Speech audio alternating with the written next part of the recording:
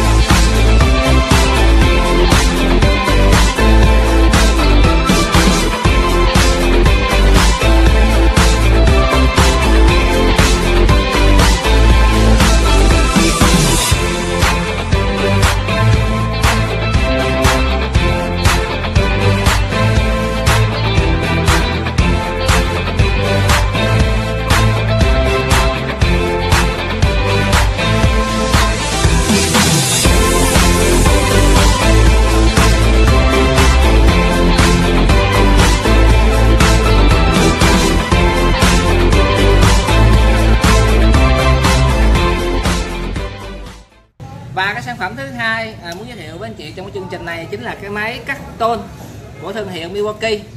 À, mã của nó là 2637 gạch 20. Số 20 cuối này chính là nó chỉ có thân máy mà thôi, không có pin, không có sạc. Thì chúng ta sẽ cùng nhau xem một cái máy nha.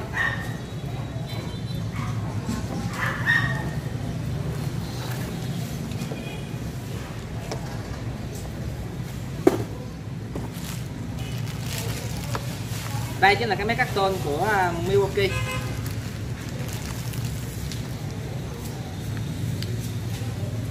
Một cái à, máy à, thật sự rất là, là đơn giản mà thôi.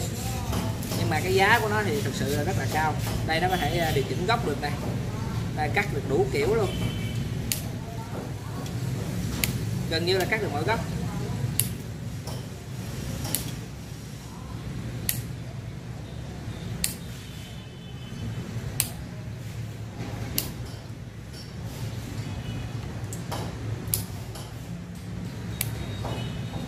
Đây. Đó là cái máy à, cắt tôn của thương hiệu à, Milwaukee. Mã của nó là 2637 gạch 20 thì cái tực, à, cái tốc nhịp của nó là 2.500 nhịp trong một phút. Máy này sử dụng động cơ có chỗ than à, bởi vì cái này nó cần cái lực mạnh cho nên dùng cái động cơ có chỗ than nó sẽ có lực hơn so với lại cái động cơ không chỗ than à, thực sự cái máy này thì shop em đang bán mức giá là 10 triệu 200 ngàn. À, chưa bao gồm phí vận chuyển anh chị có nhu cầu thì uh, xin vui lòng đặt hàng bởi vì uh, dòng này hết sức là đặc trưng và giá thành của nó cũng khá là cao.